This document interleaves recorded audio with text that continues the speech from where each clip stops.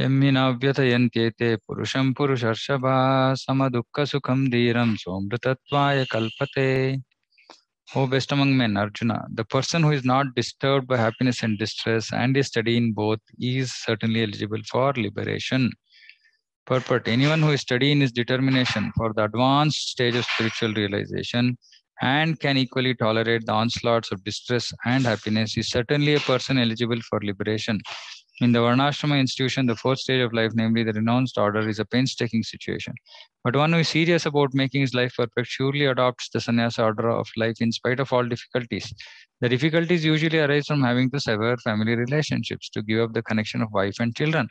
But anyone, if anyone is able to tolerate such difficulties, surely his path to spiritual realization is complete. Similarly, in Arjuna's discharge of duties as a Kshatriya is advised to persevere, even if it is difficult to fight with his family members or similarly beloved persons. Lord Chaitanya took sannyas at the age of 24 and his dependent's young wife as well as old mother had no one else to look after them. Yet for a higher cause, he took sannyas and was steady in the discharge of higher duties. that is the way of achieving liberation from material bondage.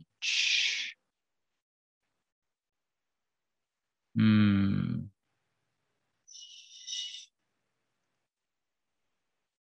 Interesting. Okay, so first uh, in this verse, Krishna is previous verse. Krishna said, "Tolerate." Hmm, why tolerate? What is the use of tolerate tolerating? Why should one go through so much of difficulty? Because one who tolerates and is not disturbed and is steady in both, he certainly becomes eligible for liberation. So it is not some ordinary uh, some, some ordinary goal that we will achieve or ordinary stage that we will achieve. We will actually become eligible for liberation. So it's not it's a very important thing and it's very difficult to achieve and that is why the result or the fruit of achieving that state is that we become eligible for liberation. Hmm, so Prabhupada here is very clearly saying one is steady in his determination this is very important, right? First of all, we have to become determined. Uh, why we have to become determined? Because there will be onslaughts of distress and happiness. Because we are in this material world, we have a material body, so we have to go through distress and happiness. If we expect only smooth sailing, hmm, that won't be like that also because Krishna wants to train us in being tolerant. Mm. So either, of course, I mean, possibly most people will have their own karmic distress and happiness. If suppose it's not there, then Krishna will put us into situations such that we actually become trained to tolerate.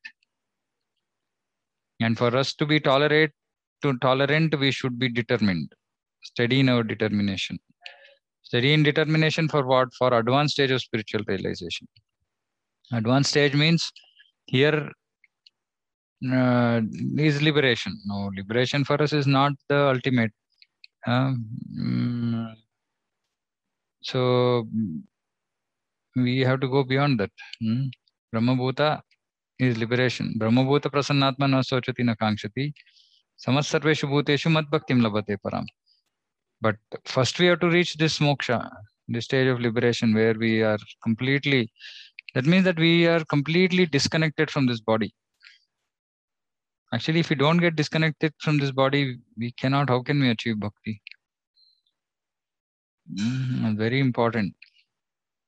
But of course, the interesting thing in Krishna consciousness is we don't take the renunciation route, we take the attachment to Krishna route the more we are attached to Krishna, the more we should see ourselves becoming more and more tolerant to distress and happiness and mm, becoming that way, you know, uh, not free from attachment to material things. The more we are attached to Krishna, the more we will be uh, detached from material things.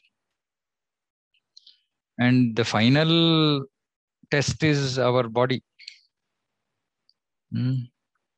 We maybe you know can get over all other uh, attachments to the body uh, to relate to material material attachments like you know maybe money sense gratification etc etc right but when it comes to body that is the final uh, detachment we have to develop because eventually we have to we will have to leave this body so to go through all this we have to go through all this right so for which we have to be steady in our determination to make progress and we should also equally tolerate the onslaughts hmm? um, so similarly, in Arjuna's discharge of duties as a Kshatriya is advised to persevere. Same like, you know, we have duties to perform, we have bhakti to perform, we have to persevere. Uh, um, Lord Chaitanya took sannyas and his yeah, dependents had no one else to look after. Yet for a higher cause, he took sannyas. So we may not you know we may not yet talk about sannyas but the whole point is that for a higher cause which is to achieve uh, lotus feet of the lord to um, discharge loving devotional service. Which that is a higher cause right? So we should not get stuck in lower causes. Of course we should not break out of dharma as much as possible but uh, if anything is holding us back from making progress, then we have to break out of it. Like Chaitanya Mahaprabhu showed by his example that he, though the dependents had nobody to take care of, nobody else to take care of. So, but still he took it up for a higher cause. Hmm. So we are also engaged in a higher cause, and that is a Prabhupada is saying that is a way of achieving liberation from material bondage. That means for a higher cause, we should mm, you know make sure that we don't get stuck with lower causes we don't have to necessarily break out of uh, material relationships or anything like that but uh, if anything is preventing us from progressing further then we have to figure out what to do and of course that is when such important decisions have to be uh, taken in consultation with guru we should not be taking independent decisions in such cases hmm? very important. Okay, any thoughts?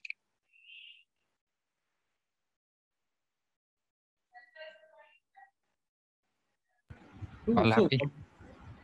So hmm. what is the summary of this verse? Like uh, there are a lot of important points, right? Um, yes. Like yeah, some, uh, yeah, as a practical uh, application. Yeah. So we have to tolerate. So actually, two, three things come out. One is that we have to be determined in practicing in wanting to achieve higher stages in bhakti number one we have to be determined uh, second is for a higher cause you should be willing to give up lower causes. Third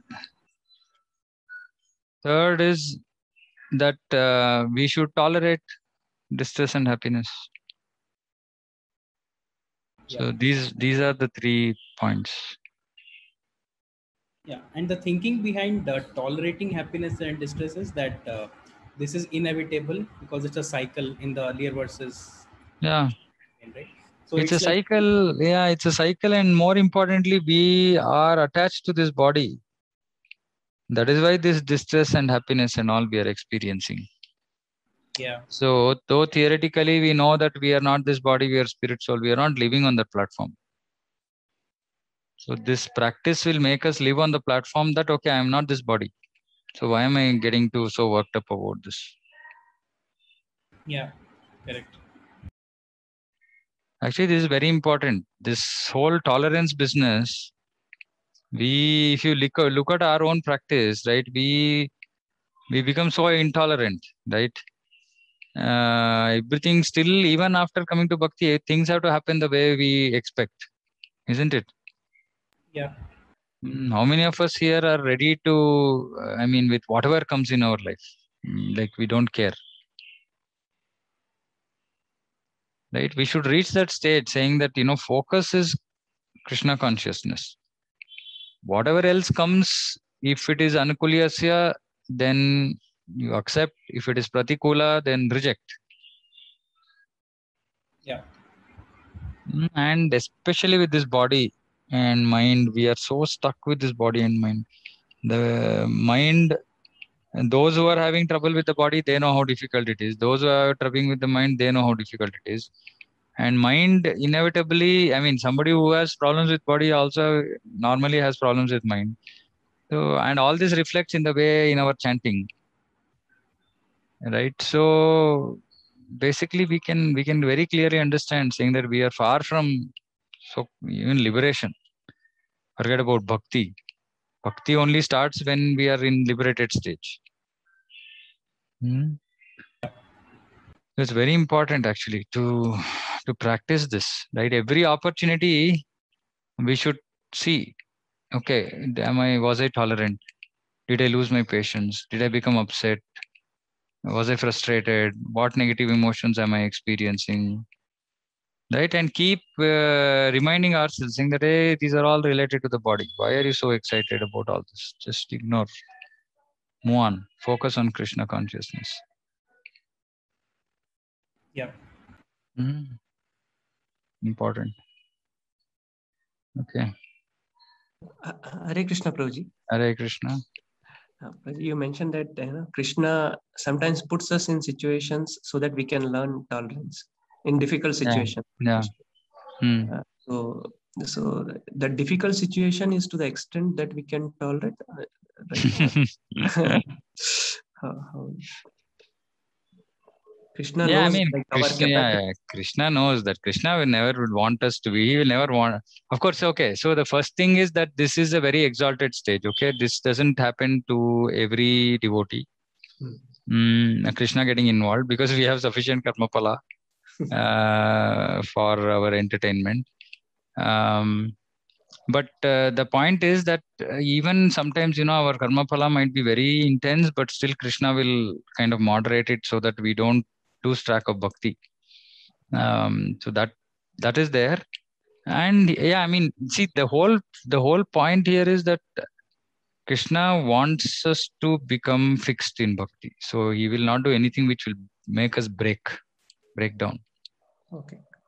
I mean, even like I said, even if we have, that is why, right? I mean, Prabhupada says, right? One who is a devotee always looks at problems saying that, oh, I got it was so small. uh, Like uh, Krishna has reduced it Hmm. for me.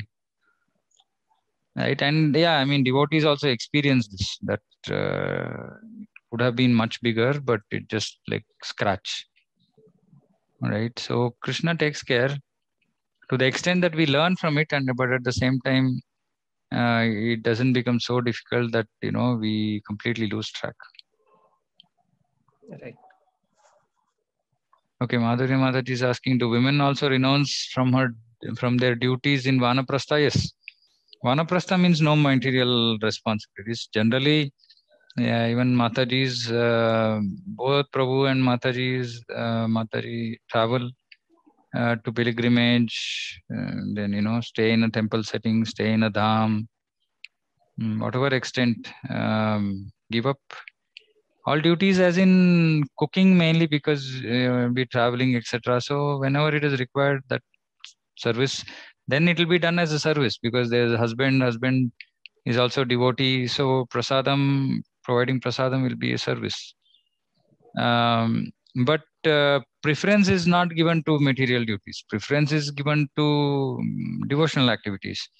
So for example say if it's ekadashi and you know somebody wants to do 64 rounds and no time for cooking then you know maybe eat fruits right or whatever right? So uh, point is focus is on uh, is on bhakti and not so much on uh, duties. And duties are what? Duties should be limited to only husband and wife between husband and wife whatever is required not uh, children grandchildren all that anyway has to be renounced. Everybody has to mm, man also has to renounce and women also has to renounce.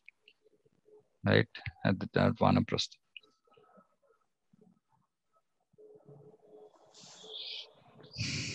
Okay. Janu Prabhu, you're saying something? No, Prabhuji. okay